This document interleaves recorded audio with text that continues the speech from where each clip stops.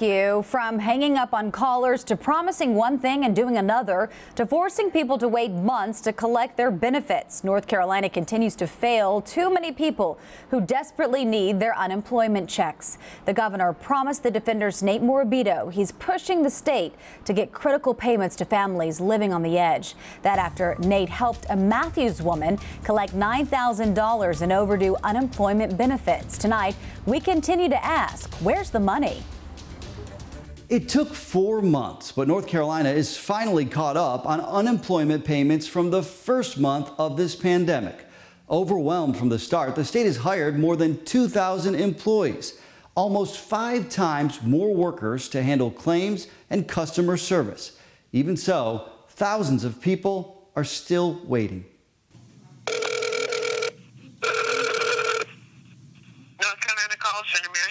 The Division of Employment Security Helpline. Application.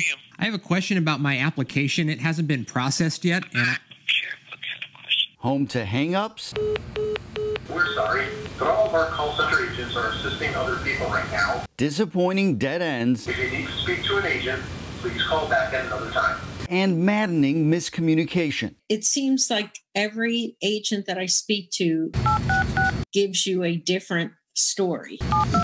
Susan Davidovich lost her job before the pandemic in January and then lost seasonal work in March, yet until recently only received a portion of her unemployment benefits. It's never gotten resolved. Her account home to an isolated issue. None of them are authorized to correct my issue. Agents left with no choice but to escalate her claim. They tell me they don't see any notes on there that it's been escalated. I'm questioning whether they even are being truthful when they're telling me they're escalating my claim. We've learned there's a big misconception. According to DES, escalation does not mean immediate resolution. It can take six weeks. Oh, A bummer for those waiting. she said a couple days. Historically, North Carolina has struggled with unemployment. Even before this pandemic, the federal government ranked the state the worst in the country for timely payments. When will the state fix these problems?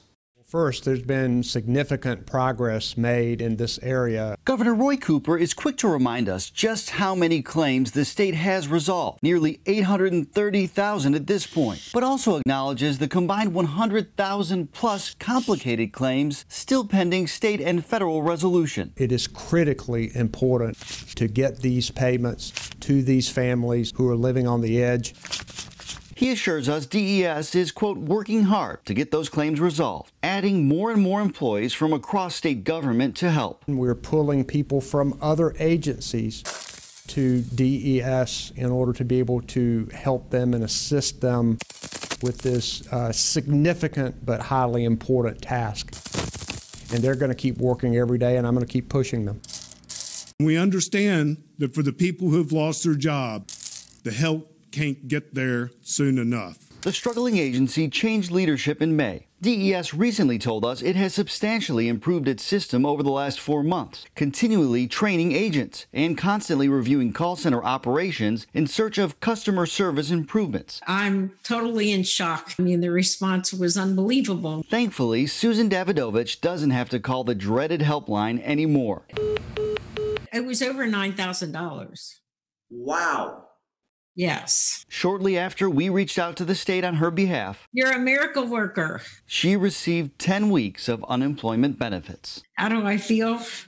Like a heavy weight has been lifted off my shoulders. With all of its flaws, the state insists most people get their money quickly. A first payment within 14 days of filing, as long as there aren't any problems with the claim. I filed in June after getting furloughed for one week and received my payment in eight days. Nate Morabito, WCNC Charlotte.